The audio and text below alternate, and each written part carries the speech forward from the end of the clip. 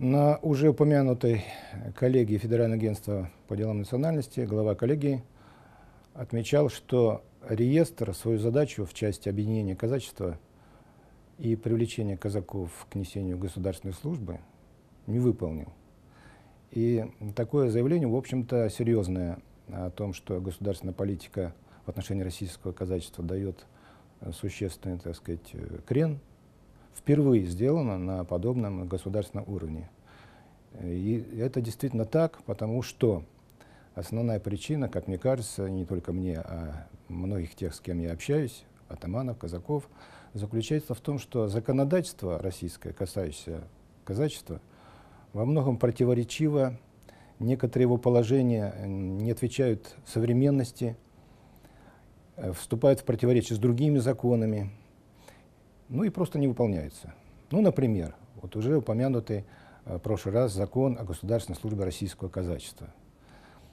Э, там, в этом законе, даже в самом названии написано, и из него как бы следует, что существует какая-то особая служба для казаков, для казачьих обществ в то время как федеральный закон о системе государственной службы Российской Федерации никаких привилегий никаким группам ни по национальному признаку, ни тем более по принадлежности каким-то общественным или некоммерческим организациям, которыми является казачье общество, некоммерческая организация, он не позволяет э, нести государственную службу. Государственная служба может быть и несется только на профессиональной основе. Если это воинская служба, это служба в вооруженных силах или служба в войсках, или служба в, в, в Министерстве внутренних, войсках Министерства внутренних дел, ну и так далее. Гражданская то же самое предусматривает. В шта, вхождение в штат с присвоением там, где это положено, званий, социального пакета и так далее. Не может считаться и не считается государственной службой участие казаков, к примеру, в оказании помощи органам МВД в качестве общественных дружинников. Они, кстати, и отличаются от обычных общественных дружинников только тем, что имеют право носить казачью форму. И то не всегда и не везде. И сейчас уже наблюдается тенденция, что стали запрещать казакам, в частности в Москве, в ряде случаев, одевать казачью форму. Даже в удостоверениях уже а, вот, дружинника тоже снимки, чтобы кадр, э, фотография была сделана в гражданской форме, но не в казачьей форме.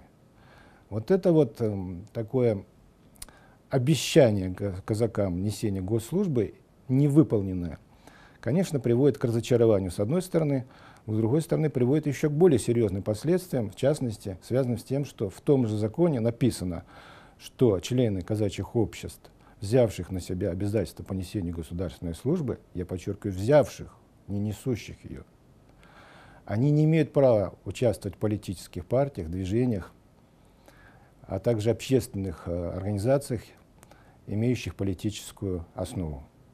То есть э, фактически это нарушение Конституции, ограничивающее права членов этих казачьих обществ, граждан Российской Федерации, которые могут быть членами и являются членами этих обществ, участие в политической жизни страны.